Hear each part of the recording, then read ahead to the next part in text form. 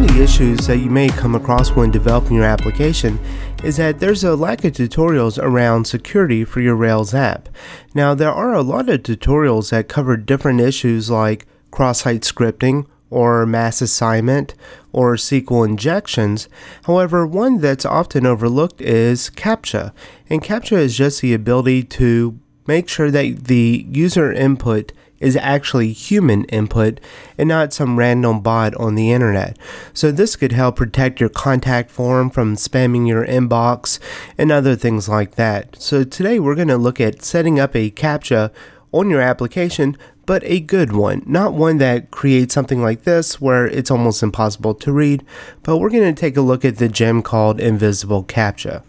To get started, let's add the Invisible CAPTCHA gem to our gem file make sure you run the bundle command and restart your Rails application.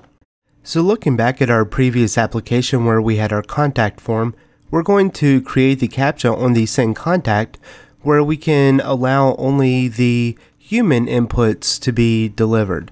Now, the way the invisible CAPTCHA gem works is that it'll create a honeypot input field, which it expects no return. However, a lot of bots are not smart enough, and this will protect against most of the bots out there, where it will pick up on that input field. It'll enter something in that it thinks it's expecting.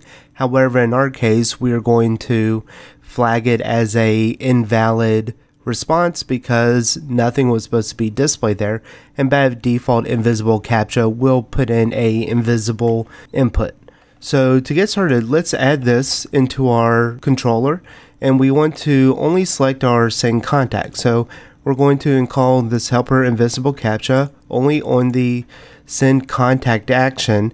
And then we're going to create a private method. So when it does detect the spam then we can run this private method so let's just add the private action down here below. And it's something pretty simple. It's just going to redirect to our root path and we're going to alert spam detected. Next, we just have to add the invisible captcha to our contact form. So here we can just add in the fdi invisible captcha and this will create a foo or bar input under the contact attribute. Now, I don't like really having that foo or bar captcha here or the input. So I'm going to just pass in subtitle here and it'll under the contact attribute list it'll have one called subtitle so you can call this anything that you want you could call it name or email or something similar to kind of throw off the bots now, keep in mind that this contact form is not actually posting to our database, and therefore there's not anything interfacing with Active Record. We will have to handle those a little bit differently. So let's say we do have a active record where the user can sign up and we are putting our invisible captcha there. So in this situation, we would create an attribute accessor called subtitle or name, whatever we want to call it, and then we would pass a validates on the name, invisible captcha true.